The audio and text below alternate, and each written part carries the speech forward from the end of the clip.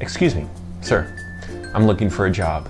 In fact, I've made up my mind to look for a career that I can learn and grow into. Who am I? I'm a hard worker, I set high goals, and I've been told that I'm persistent. Now, I'm not fooling myself, sir. Have you been raised with the self-esteem movement so popular in schools? I used to expect my needs to be considered. But I know that today's work culture no longer caters to the job loyalty that could be promised to earlier generations. What I believe, sir, is that good things come to those who work their asses off. And that, Good people, such as yourself, who reached the top of the mountain, didn't just fall there. My motto is, if you want to direct commercials for T-Mobile, you have to make a YouTube video T-Mobile really likes. You have to make a YouTube video T-Mobile really likes. You have to make a YouTube video that T-Mobile really likes!